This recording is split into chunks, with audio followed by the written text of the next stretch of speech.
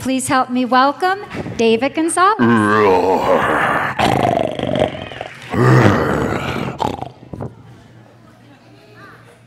Once upon a time, there was a lion whose teeth were so sharp, whose claws were so long, and whose roar was so loud. Let me hear you guys roar. One, two, three. His roar was so loud that all of the other animals were like, ah! And they ran away. And of course, this made the lion feel sad. And that sadness made him mad, so mad that all the lion could do from the morning to the night was roar, roar. Yeah, but uh, sometimes the lion gets sleepy. Yeah. And one day the lion stretched and fell asleep just like that. With his arm laid out and his hand wide open, the lion fell sound uh. And while the lion was lying there, along came the other animal in our story. A little gray animal with a long curly tail, long whiskers, loves to eat cheese. It was the. Yeah. The mouse was minding his own business, right? The mouse wasn't bothering nobody. The mouse didn't see the lion lying there, and the mouse tippy tiptoed right into the lion's open hand. Now, I need everyone in this room to hold up one hand like this and spread your fingers out as wide as they can go. Then, yo, take your other hand and with your fingernail scratch as fast as you can right in the middle. It tickles! So, of course, the lion woke up with a great big. Who woke me up? Why, you dirty little rat. And the lion lifted the mouse up by his long tail. The lion opened his mouth and was about to drop the mouse in when the mouse said, Wait, wait a minute, Mr. Lion. Hey, look, hold it right there. Look, I don't mean nothing to you, but I mean a whole lot to me. And if you set me free, maybe one day I could come back and uh, I could help you. Yeah, right. You, a little mouse, help me. I don't think so. You can't help me. I'm big and bad. Get out of here, mouse. You're making me mad. I'm the leader. I'm the king. Who are you, mouse? Just a little thing, goo goo gaga. Did you hear what he said? This little mouse thinks he can. yeah. Hey, hey, wait a minute. Uh, hey, I was just laughing.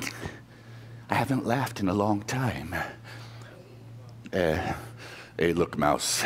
You made me laugh, so uh, I'm gonna set you free. But I'm warning you, don't come around here again, or in my mouth you'll be. Now scram and don't come back. He threw the mouse in the air. The mouse is like, Yahoo! The mouse ran into the woods, and the, and the, and the lion fell back. Uh, shh. Now, that day in the jungle, there were three hunters from the circus.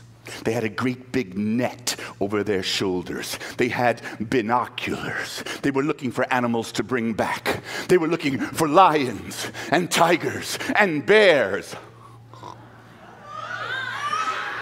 Don't leave me hanging. Lions and tigers and bears. Lions and tigers and bears. Lions and tigers and bears. Oh my. Look, said the first hunter, there's a lion down there and he's sound asleep. Let's get him with our net.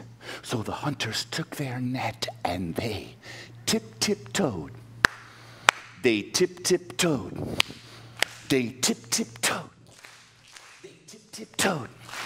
They tip tip toed. They tip tip toed. And they snuck up to the sleeping lion. And the hunters took their net and they threw it right over the lion. And of course, the lion woke up with a great big. And he roared so loud that the hunters became frightened and they ran away and left the lion trapped that day. And sure, the lion tried to get out, but the more he struggled, the more tangled up he became.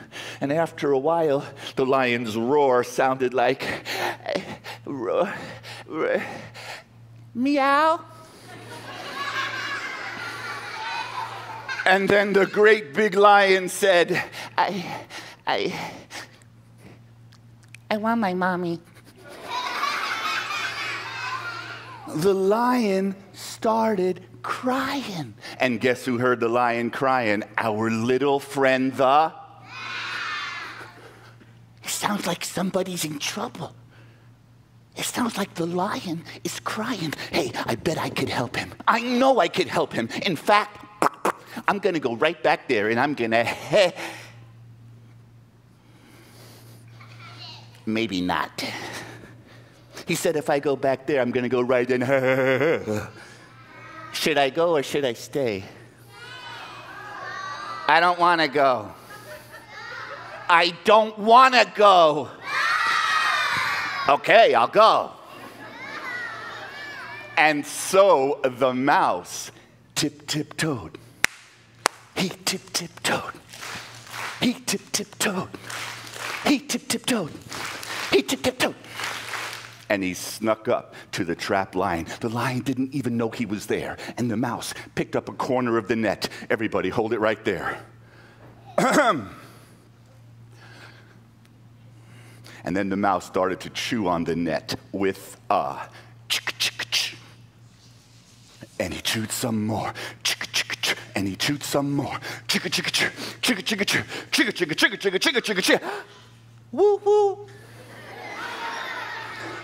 Soon there was a hole in the net, and the lion's sharp claws found it, and the lion ripped the net off his body with a great big. Ha ha! I am free. Wait a minute. Who are you? Me?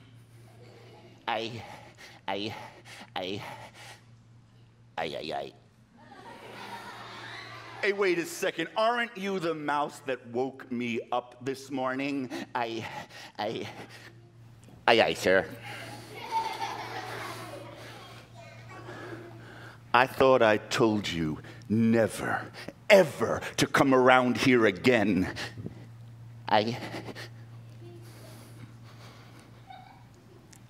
I heard you crying, and then and then then I tippy toed here, and then then I chewed a hole in the net, and then and, and then I and then I set you free. you set me. F- what? I set you free. I, I, I, I, I. You mean I was going to eat you this morning and you came back and saved my life? Duh, yeah.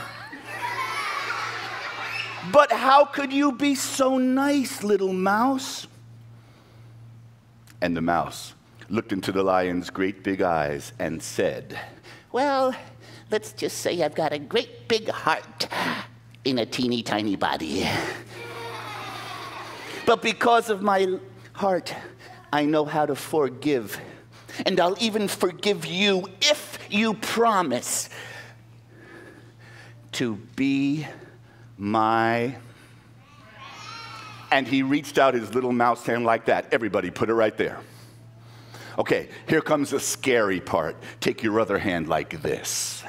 Because the lion took his longest, sharpest claw, and the lion carefully, slowly, gently put the tippy tip of his claw into the mouse's little hand. And they shook hands like, ee, ee, ee. And they gave a high five like, oh, cool. And of course, they became friends. The lion and the mouse became.